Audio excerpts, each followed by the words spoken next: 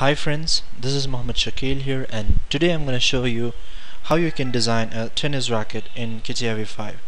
So in the whole tutorial we're going to use the part design, wireframe and surface design and obviously the Sketcher workbench. So let's just go ahead and uh, create the last part, uh, the last surface part uh, which we are going to create in this particular model. So rest we're going to work on the part modeling. Alright, so the next thing what we need to create this is this particular portion here. So for that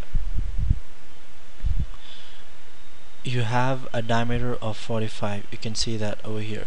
So that means that that's a circle it's not an ellipse.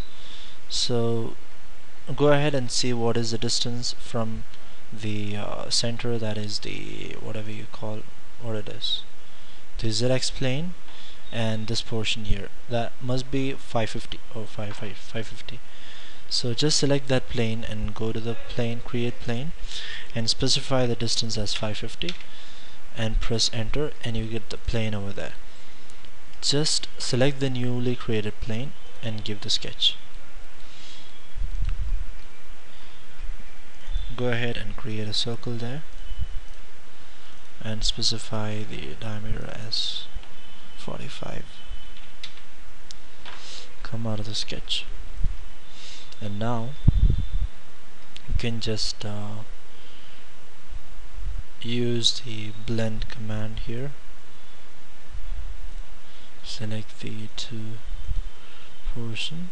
Click on the preview. And you get the last part. Alright. And now you need to select the fill command here and just fill the surface close contour and you fill that particular portion there. And that's all about this particular part of the tutorial. And I hope you enjoyed this video and uh, keep watching to uh, complete the design with the materials etc and if you have any doubts clarifications please feel free to mail me at catia.producer at gmail.com catia.pro.user at gmail.com and I'll be replying your mails as soon as I find time. Thank you so much guys for watching